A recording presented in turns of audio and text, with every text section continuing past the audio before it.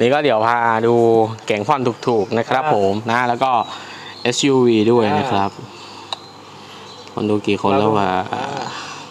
เดี๋ยวรอกันสักหน่อยนะครับ ผมนะ ใครเข้ามาก็ฝากกดไลค์กดแชร์ด้วยนะครับครับถามความเห็นของช่างดีกว่าในในฐานะที่เขาเป็นช่างครับผมระหว่างรถรถเนี่ยรถที่เรามีอยู่เนี่ยกับที่เขาชอบกันเนี่ยกับรถไอไฟฟ้าเนี่ยข้อดีข้อเสียต่างกันไหมสำหรับตัวกอล์ฟเองอะ ไฟฟ้ากับรถน้ำมันใช่ไหมอ่าใช่ใช่ถ้าถามว่าตอนนี้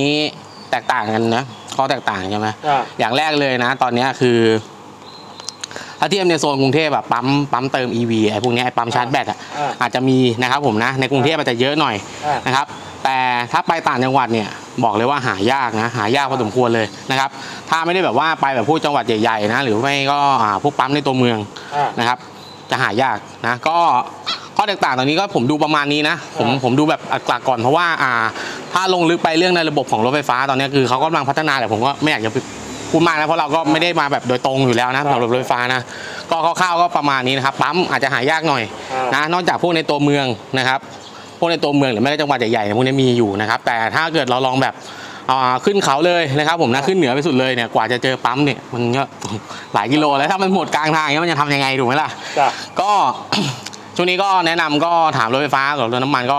ผมว่าใช้น้ำมันไปก่อนดีกว่าอ่านะครับในอนาคตข้างหน้ารถไฟฟ้าอาจจะดีกว่าอ่าก็ได้นะแต่ก็ยังไม่ใช่อย่างที่บอกไปว่ามันก็ยังไม่ใช่เร็วๆนี้ถูกไหมเพราะว่ามันก็ไหนจะระบบของเขาอีกนะครับ ผมนะในตอนนี้กำลังจะสร้างปั๊มกันด้วยนะครับ อ่า ก็ช่วงนี้ก็มานี่เลยดีกว่านะครับผมนะรีเจนโฮมคาร์รถ สวยๆเพียบอ่าเกรด A เกรด S นะครับผมนะ มีตั้งแต่เริ่มต้นผ่อน 3,000 นะครับผมนะ ยันแบบว่า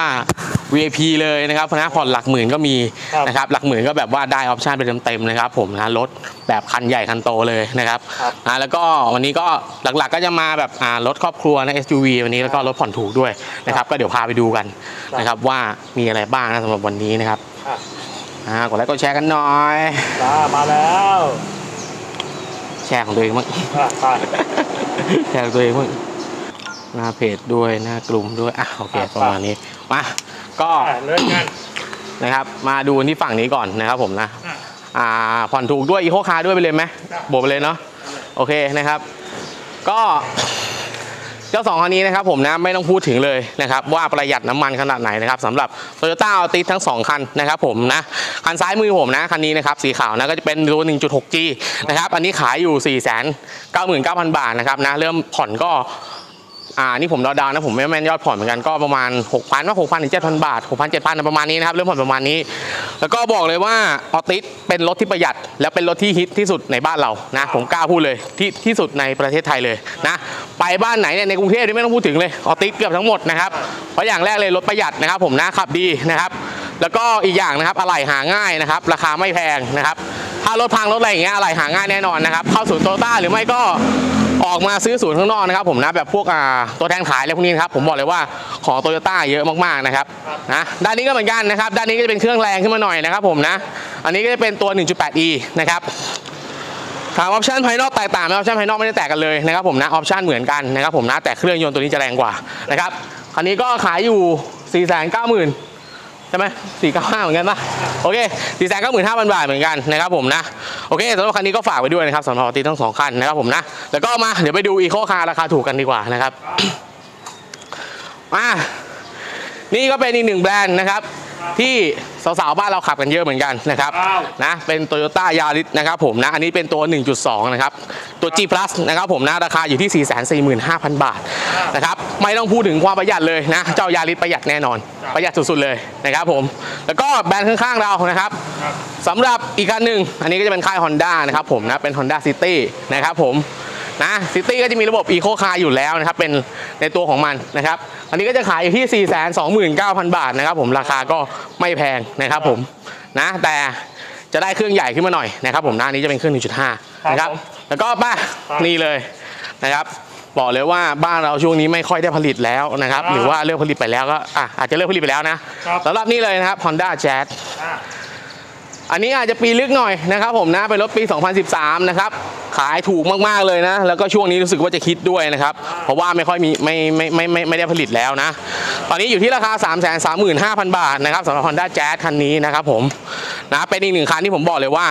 วัยรุ่นไทยนะผู้ชายนะหนุ่มๆเนี่ยชอบขับกันมากเลยนะครับแจ๊สนะเครื่องแรงด้วยนะครับราคาประหยัดด้วยนะครับผมนะแล้วก็ไม่กินน้ำมันนะครับมาดูอีกหนึ่งคัน อันนี้ก็จะเป็นรถราคาประหยัดอีกหนึ่งคันนะครับ ไม่แพงเครื่องยนต์แรงขึ้นมาหน่อยนะครับผมอันนี้จะเป็น Mazda 3นะครับผมเป็น Mazda 3นะครับเครื่องยนต์ 2,000 นะ เป็นตัวเบนซินนะครับราคาอยู่ที่ 359,000 บาท ก็ถือว่าผ่อนไม่แพงนะครับเริ่มผ่อนไม่แพงโซนนี้เอาง่ายเลยนะ ตัวข้างหลังเนี่ยที่ผมดูมานะครับ3 4 0 0 0เนี่ยเริ่มผ่อนอยู่ที่ประมาณ5ถึง6,000 บาทเท่านั้นนะครับเริ่มผ่อนไม่แพงเลยนะครับเงินเดือนหมื่นถึงหมื่นห้าออกได้นะครับผมนะแล้วก็อ่าไปข้ามไปดูฝั่งนู้นกันดีกว่านะครับ ก็เดี๋ยวนี้เน้นๆ SUV กันเนาะอ่าใช่อันนี้ก็เป็นอะอีกหนึ่งคันนะครับ SUV แต่บอกว่าตัวนี้อาจจะราคาสูงขึ้นมาหน่อยนะครับผมนะเป็นตัวไฮบริดผมเป็น Toyota Corolla Cross นะครับ เครื่อง 1.8 ไฮบริดนะครับผมราคาอยู่ที่ 699,000 บาทนะครับผมบอกเลยว่าภายในกว้างมากเออมาเดี๋ยวพาไปดูภายในสักหน่อยคันนี้ผมบอกเลยว่าใหญ่มากๆนะครับ แล้วก็ค่อนข้างหรูเลยนะครับ มาครับจ้ะ เป็นไงว้าวภายในค่อนข้างกว้างนะครับนะกว้างตัดกันนะครับผมนะเปียโนแบล็กนะครับครับตัดด้วยอ่าหนังสีน้ำตาลนะครับผมแล้วก็หน้าจอนะครับ มาพร้อมหน้าจอ 8 นิ้วนะครับ ผมใหญ่ๆเลยนะครับพวงมาลัย multifunction cruise control ครบนะครับ เครื่องยนต์แรงคันนี้บอกเลยน่าโอเคโอ้โหเป็นไงไฮบริดด้วยใช่ไหมฮะเนี่ยใช่ครับคันนี้เป็นตัวโอ้ไฮบริดนะครับผมนะเครื่องเครื่องพันแปดอ่าเครื่องพันแปดไฮบริดประหยัดนะไม่ใช่ไม่ประหยัดนะครับ ผมนะประหยัดด้วยนะครับ เครื่องแรงด้วยนะครับ แล้วก็นี่เลยนะครับผมนะคันนี้ถือว่าสะดวกสบายมากๆนะครับ กับอ่าทั้งเด็กๆนะครับผมนะแล้วก็ผู้เฒ่าผู้แก่บ้านเรานะครับสำหรับ Toyota c e n t a คันนี้นะครับคันนี้ขายที่ราคา 499,000 บาทนะครับคันนี้ดียังไง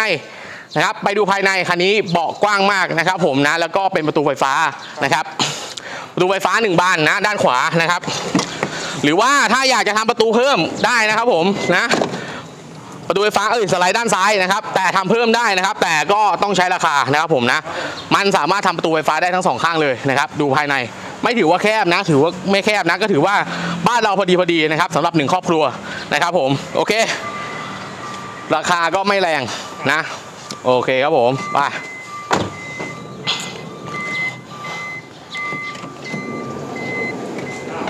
โอเค มา แบรนด์ Honda กันบ้างนะครับผมอันนี้ก็ราคาประหยัดลงมานะครับเป็น Honda BRV นะครับผมนะขายที่ราคา 485,000 บาทนะครับไม่ต้องพูดถึงเลย BRV บ้านแล้วก็ฮิตเหมือนกันนะครับตอนนี้กี่นั่งเนี่ย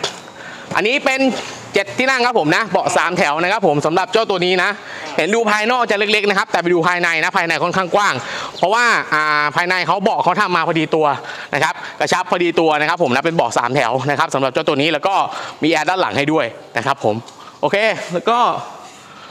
ไปนู่นเลยนะครับ ไปแบรนด์นอกของเราบ้างนะครับผม อ่า MG ครับไป G จีเอ็มจีตอนนี้ก็เป็นแบรนด์ที่คนเขาเล่นเยอะเหมือนกันนะ ใช่ครับผมนะ ช่วงหลังมา MG ค่อนข้างฮิตนะครับ เพราะว่าอย่างแรกเลย อ่าถ้านับในบรรดาพวก SUV นะครับเป็นบรรดาไอ้พวกรถห้าประตูด้วยกันเนี่ยราคาค่อนข้างถูกนะครับแล้วบอกเลยว่า option ค่อนข้างเยอะนะภายในกว้างมากนะครับเดี๋ยวไปดูคันนี้เลยนะครับมาคันนี้ก็จะขายอยู่ที่ 555,000 บาทนะครับเป็นรถปี 2020 นะครับอันนี้ไม่รู้สึกจะหลักหมื่นทั้ง40,000กิโลมั้ง เป็นไงภายในนะครับ ไม่ไม่ไม่ได้ว่าแบบเอ้ยน้องโหรถแบบจอกเออนะครับอ่าภายในมากึ่งสปอร์ตนะครับ ผมนะดูเบาะรับสรีระนะครับ ผมแล้วก็ภายในกว้างมากนะครับแล้วก็ระบบอำนวยความสะดวกของ MG ค่อนข้างพร้อมนะครับครับมีทั้ง iSmart นะครับผมนะ Android Auto นะครับมีทุกอย่างเลยนะครับ ระบบสั่งการด้วยเสียงมีนะครับ ผมแล้วก็ Sunroof ก็มีนะครับครับเป็นอีกหนึ่ง SUV ที่ผมแนะนำนะ เพราะว่าอย่างแรกเลยคือราคาไม่แรงนะครับ ราคาค่อนข้างดีครับผมโอเค มาถ้าพูดถึง SUV แบรนด์นี้ไม่มีไม่ได้นะครับผมนี่เลยแบรนด์นี้ไม่มีไม่ได้นะครับ สำหรับ Honda CR-V นะครับแบรนด์นี้ไม่มีไม่ได้นะ ราคาก็จจะแรงขึ้นมาหน่อยนะครับผมเพราะว่าใครๆก็รู้กันถ้าถามถึง SUV ถ้าดีที่สุดก็ต้องเป็นแบรนด์เขานะครับสำหรับ Honda CR-V คันนี้นะครับคันนี้ขายที่ราคา 779,000 บาทนะครับถามว่าเอ้ยน้องทำไมถึงว่า Honda SUV ดีที่สุด ผมบอกเลยว่าด้วยทั้งทุกอย่างนะครับผมนะสมรรถนะการขับขี่นะครับอัตราเร่งนะครับแล้วก็ option ภายในเบาะเบิกของเขานะผมบอกเลยว่า CRV ทำมาดีมาก มากเลยนะครับ นะ มากยังไงมาดูกัน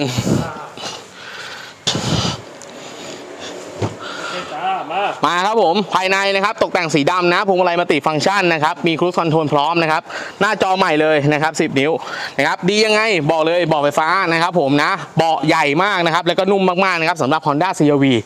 นะครับเป็น SUV ที่ผมว่า อันนี้ถ้าเทียบอันนี้ส่วนตัวนะ ขอส่วนตัวนะครับผมนะ ถ้าเทียบในบรรดาเนี่ย SUV ผมว่า CRV น่าจะเวิร์กที่สุด เพราะว่าอ่าช่วงลงช่วงล่างอะไรอย่างเงี้ยผมว่าดีนะครับ แล้วก็ระบบไอสมรรถนะการขับขี่ดีด้วยแล้วก็อัตราเร่งก็ดีนะครับ โอเค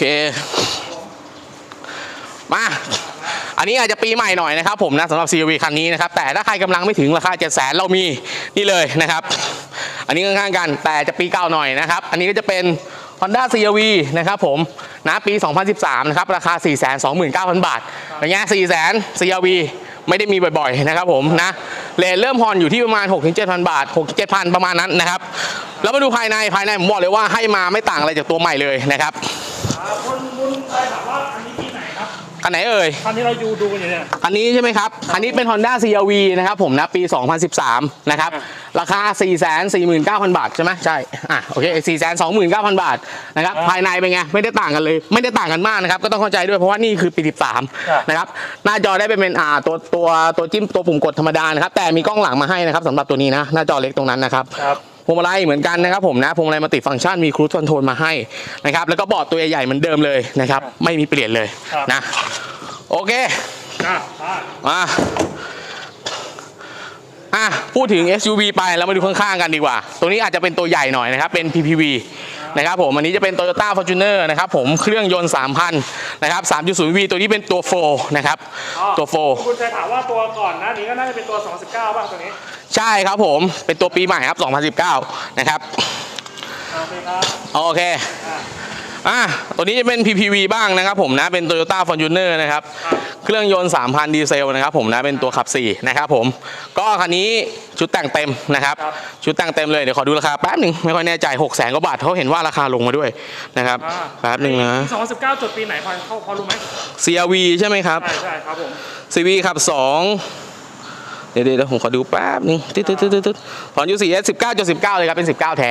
นะครับเป็น19แท้นะครับถ้าพี่บุญชัยสนใจก็ทักแชทเลยเข้ามาจาก Facebook สนใจทักแชทมาเลยนะครับแคปหน้าจอมาเลยนะมาจากไลน์นี้เอาไปเลยนะครับผมนะแล้วก็อะมาต่อที่ Fortuner ของเรานะครับชุดแต่งเต็มนะคันนี้นะครับชุดแต่ง TRD พร้อมนะครับจมูกรถพร้อมนะข้อไฟมีนะครับโป่งล้อมีนะครับ ผมนะราว rack มีนะครับ แล้วก็ภายในผมบอกเลยว่าคันนี้ค่อนข้างเต็มนะครับครับ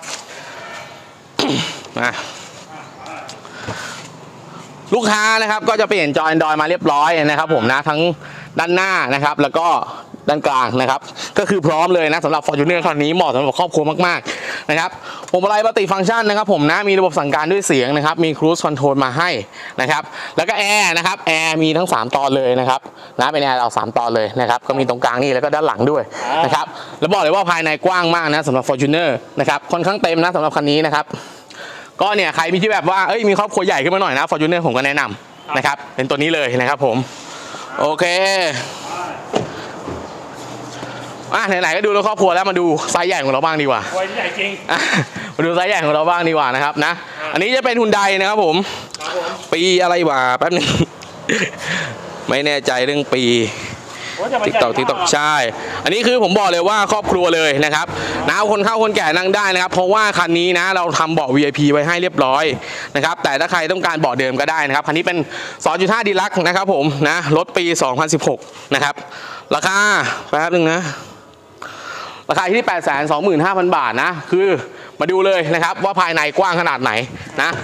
เดี๋ยวแป๊บนึงผมเปิดไอประตูไฟฟ้าแบบนึงได้ได้ได้อันนี้น่าจะยังไม่ได้กดโอเค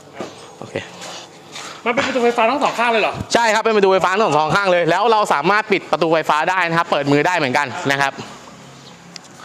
แป๊บหนึ่ง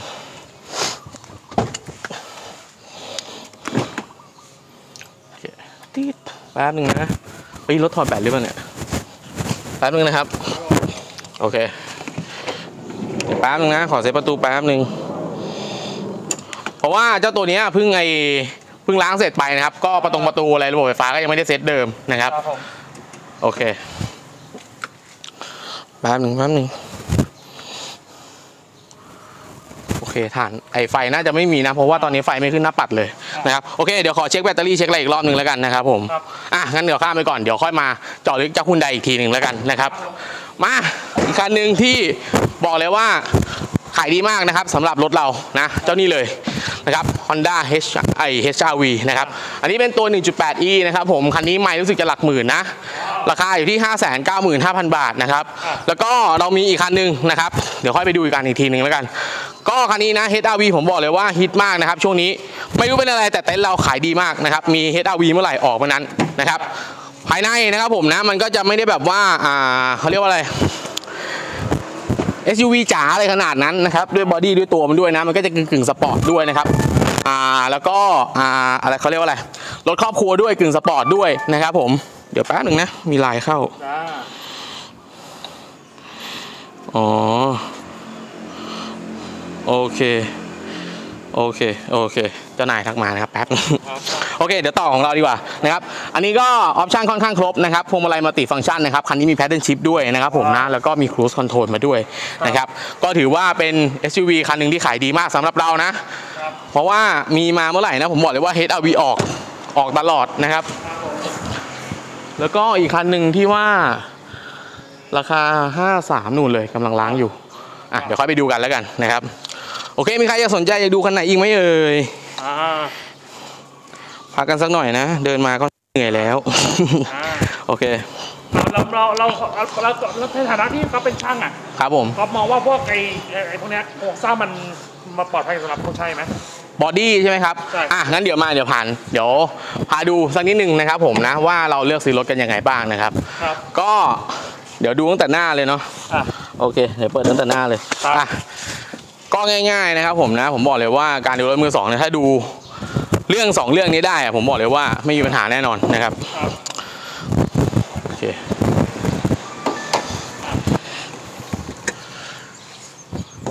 หนึ่งเลยนะครับผมนะดูตัว body นะครับอ่าอ่าเม็ดอาร์ตต่างๆนะครับรอยตะเข็บรอยรอยต่อต่างๆนะครับอ่าหัวนงหัวน็อตนะลองดูดีๆนะครับ แล้วก็ลองจิกซีลดูนะครับ ผมนะอ่ามัมันจะไม่ได้แข็งเกินไปหรือว่าอ่อนเกินไปนะครับ ถ้าบางฝามามันเปลี่ยนมาเลยใช่ไหมซีลในตรงเนี้ยมันจะนิ่มเลย ว้าวแล้วก็ตัวไหนที่ทำสีมาจะแข็งเลยครับนะครับ ก็ดูตัว body นะครับผมนะ อ่า แล้วก็อ่าโครงสร้างต่างๆนะครับผมนะตะเข็บตามไอ้ประตงประตูต่างๆ ทุกเสานะครับ ดูให้หมดว่ามีตรงไหนที่มีตำหนิหรือเปล่านะครับ แล้วก็อย่างที่สองนะครับผมนะลองเครื่องกับเกียร์นะครับ ผมบอกเลยว่าหลักๆมีแค่นี้เลยนะครับ ดู body นะครับผมลองเครื่องลองเกียร์นะครับ เพราะว่าที่เหลือเนี่ยช่วงลงช่วงล่างนะครับยางอะไรพวกเนี้ยเราสามารถเก็บได้ถูกไหมแล้วราคามันไม่แพง ครับ แต่ถ้าเกียร์พังเครื่องยนต์พัง ปัญหาแน่นอนหลักหมื่นอยู่แล้วนะครับ ก็ประมาณนี้นะ ดูรถมือสองไม่ยากผมบอกเลยเห็นไหมง่าย ๆ แต่ครับเฮ้ยน้องพี่ดูรถยังไม่เป็นเลยนี่ไม่ต้องดูเลยนะครับมานี่เลยนะรีเจนมคานะครับรถสวยรถดีเกรดเอแน่นอนนะครับที่นี่เลยนะครับโอเคอะว่ามาน่าจะพร้อมแล้วมั้งนี่เลยอีกหนึ่งคันครับอันนี้จะเป็น CRV นะครับผมนะ อันนี้จะเป็นตัว 11 ที่นั่งนะครับ เมื่อกี้ไปดูเป็น เอ้ย ตัว 7 ที่นั่ง เป็นตัว 7 ที่นั่งนะครับเบาะสามแถวนะครับ เมื่อกี้พาไปดูเป็นตัว 5 ที่นั่งนะครับ ใจดีจังเลยนะมีให้อาหารนกด้วย โอเคสำหรับคันนี้นะครับก็จะเป็น 2.4 นะครับอ่าครับ 2.4e นะครับผมนะ เป็นตัวเบาะ3แถวนะครับสำหรับคันนี้นะ ภายในนะครับค่อนข้างเหมือนกันนะครับ ก็จะมีเพิ่มมาเป็นเบาะนะครับหนึ่งนะ มีเบาะเพิ่มเข้ามานะครับ เห็นไหมตัวนี้จาก 2 แถวใช่ไหมที่เราไปดูตัว S มาเมื่อกี้นะครับ จะมีแค่ 2 แถวเป็น 5 ที่นั่งนะครับ แล้วก็เป็นตัว E นะครับ จะมีเบาะแถว 3 เพิ่มเข้ามานะครับผมอ่าเห็นไหมโอเค ครับผม ราคาคันนี้แป๊บหนึ่งนะเดี๋ยวเช็คราคาให้ก่อน ไม่ค่อยแม่นเลยเรื่องราคาอ่าติดติดติดติดติดโอเคตัว E คันนี้ขายอยู่ที่ 6 8 5 0 0 0 บาทนะครับผมครับผม นะโอเค แล้วก็มาอีกหนึ่งคันนะครับ นี่เลยไปไห นครับนี่ก็ขายดีเหมือนกันนะครับครับ เป็น Mitsubishi Expander นะครับผมนะอ่าอ้าวแล้วที่เขาล็อกไปเนี่ยเอาล้อไปทำครับ ก็ของเราบอกเลยว่าเก็บงานค่อนข้างครบนะครับบอกเลยว่าเนี่ยอย่างที่บอกไปนะครับดูรถไม่เป็นมานี่เลยนะครับเราบริการทุกอย่างนะครับแม็กเมกนะครับผมนะมีรอยเราปัดให้หมดนะครับยางเราก็เปลี่ยนนะครับโอเคมาดูภายในกันคันนี้ปี 2000 ปี 2020 นะครับสำหรับ Expander คันนี้นะครับขายอยู่ที่ราคา 545,000 บาทนะครับผมนะภายในก็ค่อนข้างครบนะครับอ่ามีแอร์หลังมาให้นะครับผมนะนี่ตัวโตๆเลยเป็นตัวดูดอากาศไปนะครับครับพวงมาลัย multifunction นะครับผมมีค u ู e คอนโทรลมาให้นะครับหน้าจอเป็นหน้าจอ touchscreen นะก็ค่อนข้างครบนะครับสำหรับเจ้าคันนี้นะราคาก็ถือว่าไม่แรงนะครับ545,000 บาทรถปีใหม่ด้วยนะครับผมครับผมโอเค มีใครอยากดูคันไหนอีกไหมเอ่ยเออคือเออยังอยากอ่าอยากรู้ว่าถ้า ที่ที่เรียกว่าคนรถ MPV หรือพวกเนี้ยมันจะเป็นรถดัดแปลงใช่ปะหรือว่ายังไงเอ่ยไม่ใช่ครับ MPV จะเป็นอ่ารถอีกไซส์หนึ่งอ่านะครับก็จะเราจะมีแบ่งรถเป็นแฮชแบ็กนะครับผมนะก็เป็นเก๋ง 5 ประตูนะครับ MPV นะครับก็จะเป็นอ่าเขาเรียกว่าอะไร5ประตูไซส์เล็กนะครับใช่ใช่นี้ปะ ใช่ครับผมตัวนี้จะเป็น MPV นะครับพวก crossover อะไรพวกนี้นะครับจะเป็น MPV หมดนะครับแล้วก็ SUV ก็อย่างนี้เลยนะครับ ครับ SR S อะไรล่ะ CRV SUV เป็น CRV อะไรพวกนี้เป็นอ่า HRV อะไรพวกนี้นะครับ พวกนี้ก็เครื่องยนต์มันก็พันห้านะ มันก็ยังเป็นกึ่งๆพวก crossover นะครับ มันก็จะมันก็จะเรียกอยู่จัดอยู่ในประเภทของพวก MPV นะครับ อันนี้ก็เห็นเอาล้อขึ้นเอาอะไรพวกนี้ก็เอาแม็กไปทำนะไม่ใช่อะไรอ๋อแสดงว่าเราดูแลลูกค้าถึงถึงถึงที่จริงทุกอย่างเลยครับผมนะครับดูแลทุกอย่างเลยนะครับผม โอเคอะมาถามคุณผู้ชมเนี่ยถามว่า CRV ปี อะไรราคาเท่าไหร่ครับคันไหนเอ่ยมีหลายคันนะ CRV อะใช่ CRV ตอนนี้ถ้านับ CRV ตอนนี้เรามี 3 คันนะครับ มี 2019 1 คันนะครับผมนะ เจ้าตัว 5 ประตูครับเอ้ย ไม่ใช่เจ้าตัว 5 ประตูครับเจ้าตัว 5 ที่นั่งนะครับนั่งอะเดี๋ยวดู 5 ที่นั่งให้ก่อนนะ อันนั้นเป็นปี 2019 นะครับ คุณลูกค้าเมื่อกี้แสดงว่าตัวนี้ปะเมื่อกี้เหรอ ถ้าเมื่อกี้ต้องตัวนี้นะ 7 ที่นั่งนะครับ ตัวนี้ ตัวนี้จะเป็น 7 ที่นั่งนะครับ ปี 2019 นะครับคุณลูกค้าสำหรับคันนี้นะ รถ 7 ที่นั่ง ราคา 685,000 บาท นะครับผมครับไปไม่แป๊บนึงไม่อยู่ที่แสนกลางนะครับ ผมนะไม่หลักแสนนะครับไม่นี้แสนโลนะครับไม่ได้ซีเรียสนะ ผมบอกเลยว่าผมซื้อรถผมไม่เคยเก่งเรื่องไม่เลย อย่างที่ผมดูไปเมื่อกี้นะครับบอกว่ามีอะไรบ้างก็มีบอดี้นะครับเครื่องยนต์เกียร์แค่นี้พอนะครับเรื่องไม่ไม่ต้องสนใจเพราะว่ารถมันใช้งานนะครับผมนะมันขับทุกวันไม่ไม่ต้องสูงอยู่แล้วแสดงว่าไม่เยอะไม่เยอะกับกับที่ร้านเราเนี่ยกับที่โชว์รูมเราเนี่ยเราก็ไม่มีปัญหา ใช่อ่าลูกค้าออกไปมีเอาติดนะอ่าไม่ห้าแสน อ่าออกไปหลายเดือนแล้วก็ยังไม่มีปัญหาเลยจ้ะเห็นไหมผมบอกแล้วไม่มันมันไม่ได้ซีเรียสเรื่องไม้นะครับถ้าลูกค้าเข้าใจเรื่องรถมือสองด้วยนะครับรถมือสองไม่ได้แบบว่าเอ้ยไม้น้องจะศูนย์ไม้น้องจะหนึ่งมันศูนย์มันก็ไม่ใช่นะครับมันเป็นรถใช้งานอยู่แล้วนะครับครับนะพวกรถมือสองนะครับอะโอเคอะอันนี้ก็อีกหนึ่งคันนะครับเมื่อกี้พาไปดูเฮดาวีใช่ไหมราคา5 9 0 0 0ใช่ไหมอันนี้นะครับเหมือนกันนะครับผมนะ แต่อันนี้เป็นไม้แสนโลนะครับอันนั้นไม้หลักหมื่นนะอันนั้นน่าจะสี่หมื่นหรือหกหมื่นเนี่ยจำไม่ได้ อันนี้ไม้อยู่ที่แสนโลนะครับผมนะราคาอยู่ที่ ห้าแสนสามหมื่นห้าพันบาทนะครับไม่ใช่ปะวะ อะคุณใช่ดิ บอกว่าอยากดูรถดูรถได้ที่ไหนคะ เต็นท์เราอยู่ราชพฤกษ์นะครับผมนะ อยู่ระหว่างราชพฤกษ์ซอย 8 กับซอย 10 นะครับอ่า อ่าถนนปากน้ำกระจมทองนะครับ ผมเข้ามาในซอยประมาณไม่ไกลนะ ซอย ใช่ 15 นะครับ อยู่ตลิ่งชันกรุงเทพนะครับผมครับเขาบอกว่าขอดูข้างในหน่อยได้ไหมคะได้ครับคันไหนเอ่ย คันนู้นคันนู้นคันนู้นไปไปไปรู้สึกเซลล์จะขายดีคนถามขายเยอะเลย โอเคมา มานั่งคุยกันซะเลยดีกว่ามั้งมาโอเคนะครับผมนะคันนี้จะได้มาเป็นเบอกไฟฟ้านะฝั่งคนขับนะ แล้วก็พวงมาลัยนะครับ เป็นพวงมาลัยมัลติฟังก์ชันนะครับผมนะเพิ่มเสียงลดเสียงได้นะครับ ผมมีระบบสั่งการด้วยเสียงนะครับ รับโทรศัพท์ได้วางสายได้ครับนะครับ แล้วก็มีระบบครู i คอนโทรลนะครับ ผมนะ ก็เวลาเราขับรถไกลๆอย่างนี้เราไม่อยากแตะคันเร่งนะครับ เราก็สามารถปรับความเร็วได้นะครับ ผมนะ แล้วก็นี่เลย ผมชอบคอนโซลเกียร์มากเลย อ่า ดูหรูมากนะครับ แล้วก็หน้าจอนะครับ 10 นิ้วเลยตัวใหญ่ๆเลยนึกว่านะครับผมนึกว่า iPad นะครับใหญ่มากหน้าจอใหญ่มากนะครับ แล้วก็คันนี้นะเป็น S อ่าตัว 2.4e นะครับผมเป็นเบาะ3แถวนะครับแอร์ตอนหลังจะมีมาให้ด้วยนะครับผมไม่ต้องห่วงเลยว่าเปิดจากด้านหน้าแล้วช่วงหลังจะเย็นหรือเปล่าเพราะมีแอร์หลังมาให้ด้วยนะครับครับ นะโอเคเราดูข้างหลังกันหน่อยไหม ไปมา มามาเลยมาเลย นี่จะเป็นตอนที่สองนะครับผมนะคันนี้เป็นประตูไฟฟ้านะครับ เป็นฝาท้ายไฟฟ้านะครับ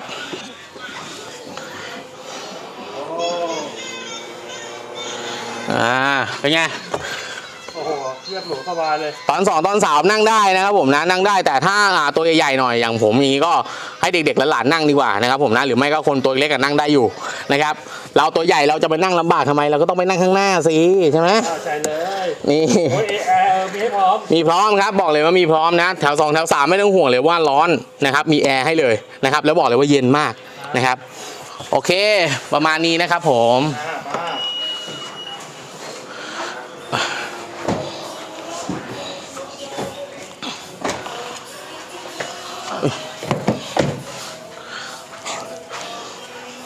มีลูกค้าอยากดูคันไหนอีกไหมเอ่ย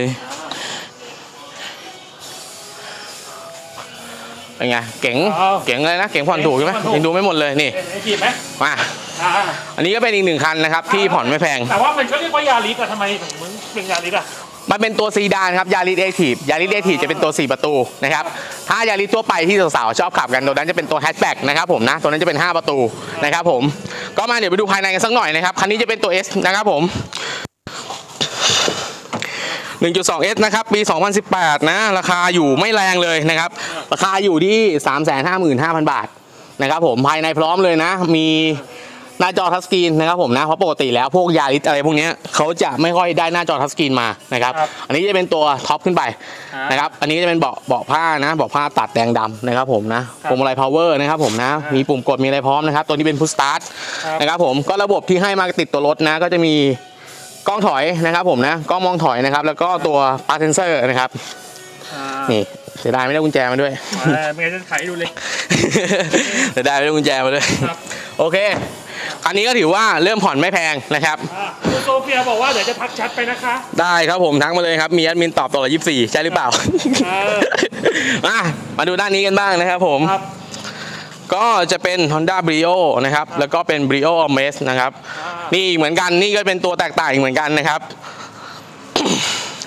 เขาเป็น Honda Brio นะครับ ตัวนี้จะเป็นแฮชแบ็กนะครับผมนะแฮชแบ็ก5ประตูนะครับผมนะส่วน Brio Amaze นะครับ Brio Amaze ก็จะเหมือน AT ตัวนั้นเลยนะครับ เป็นตัวเก๋งนะครับ เป็นตัวซีดานนะครับผมอ่าเราดูอันนี้กันอะมา Brio hatchback นะครับผมตัว 5 ประตูคันนี้นะครับ อันนี้ก็ชุดตรงชุดแต่งอะไรติดครบเลยนะครับผมนะครับแล้วก็ราคาปี 2017 นะครับ ขายพี่ราคา 335,000 บาทนะครับ ราคาไม่แพง ปี 17 นะ รถปีใหม่อยู่นะครับผมนะ ไม่ถือว่าเก่านะครับ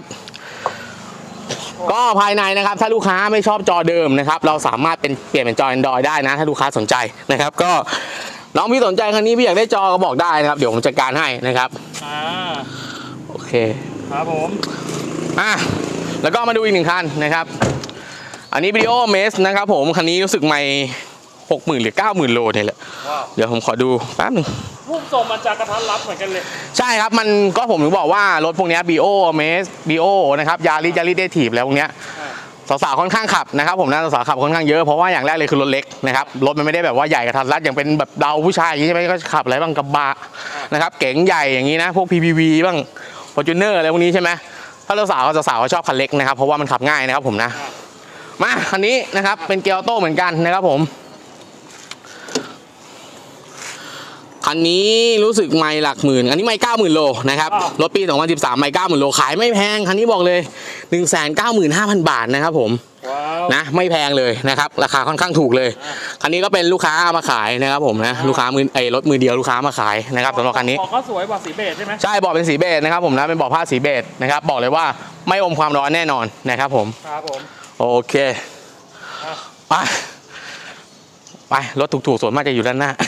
อะนี่อีกหนึ่งคันนะครับเอาติปปี 11 นะครับผมไปดูติปปี 11 กัน ตัวนี้ไม่ใช่ไม่ไม่ใช่เป็น CG ไหมอย่างงี้ตัวนี้นะครับผมบอกก่อนว่าอันนี้เคยติด CNG นะครับแต่ลูกค้าเดินถอดออกนะครับ แล้วก็พวกระบบไฟของ CNG ต่างๆ ก็คือลูกค้าถอดออกหมดเลยนะครับอ่าถามมีผลไหมถ้าออกมานะครับ เราต้องตั้งวาล์วนะครับ ผมนะเราต้องตั้งวาล์วต้องจูนเครื่องใหม่เพราะว่ารถมันเคยติดแก๊สมาแล้วนะครับครับแต่เราก็ทำให้เรียบร้อยนะครับ ไม่ต้องห่วง เพราะเรา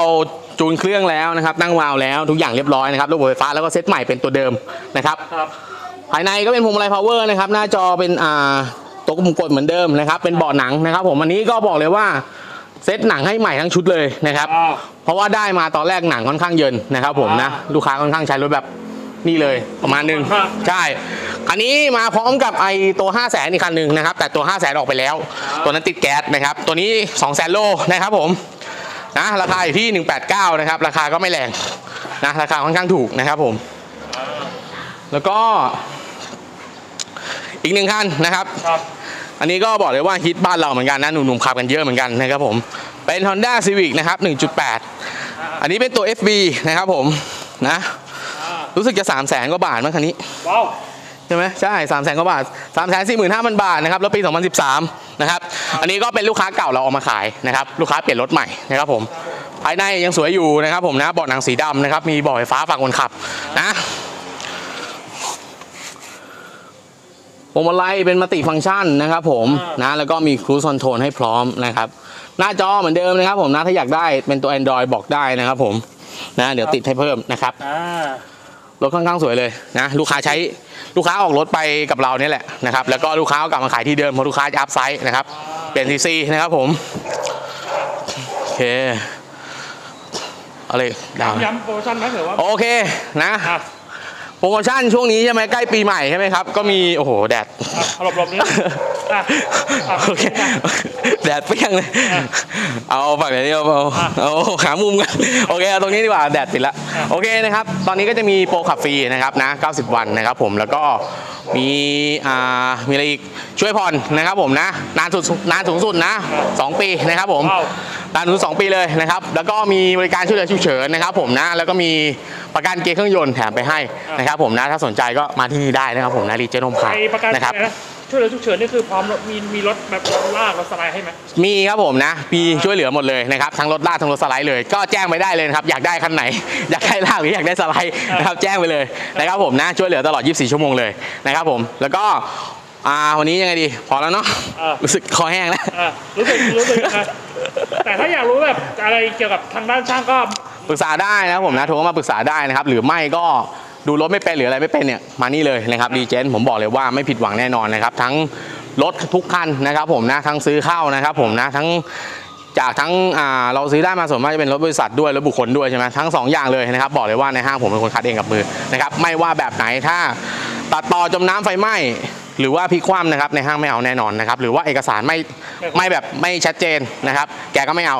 นะครับแกบอกเลยว่าขายมาค่อนข้างตรงไปตรงมานะครับครับบอกเลยว่าที่นี่ที่หนึ่งเลยนะครับผมนะเรื่องบริการ ผมบอกเลย แนะนำดีเจนโฮมคาร์เลยนะครับผมก็ประมาณนี้แล้วกันเนาะวันนี้ก็ ตอนแรกว่าจะมาดูแค่ไม่กี่คัน ไปไปมาก็หนุนไหลเหมือนเดิมนะครับผมนะวันนี้ก็ฝากกดไลค์กดแชร์ด้วยนะครับผมนะแล้วก็ฝากเพจดีเจนโฮมคาร์ด้วยนะครับติดสามารถติดตามเราได้ทุกช่องทางนะทั้ง IG นะครับผม Facebook YouTube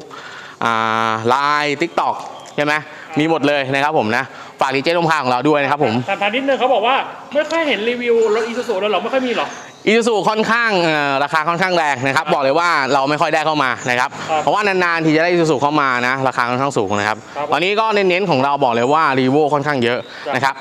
ด้วยอ่าช่วงนี้นะครับ ได้มาหลายคันนะผู้แบบได้มาตั้งแต่ตัว low ยันตัว top เลยนะครับผมนะแล้วก็ราคามันไม่แพงนะครับครับ Revo ราคาไม่แพงเหมือนพวกอีซูซูพวกอีซูซูราคาค่อนข้างสูงนะครับโอเคก็ฝากดีเจนโฮมคาร์ด้วยนะครับนะฝากติดตามเราทุกช่องทางด้วยนะครับสำหรับวันนี้ก็ลาไปก่อนดีกว่านะครับผมนะเดี๋ยวมาเจอกันใหม่ในคลิปหน้านะหรือไลฟ์หน้านะครับผมวันนี้ก็สวัสดีครับ